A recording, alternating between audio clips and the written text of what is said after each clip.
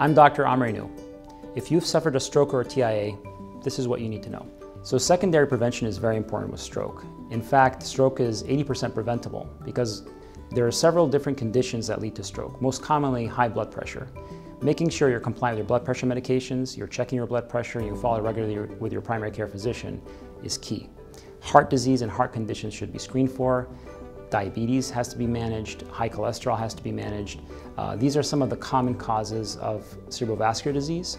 Working with your primary care physician or primary caregiver, as well as a stroke neurologist, will help tailor exactly what you need to prevent a future stroke.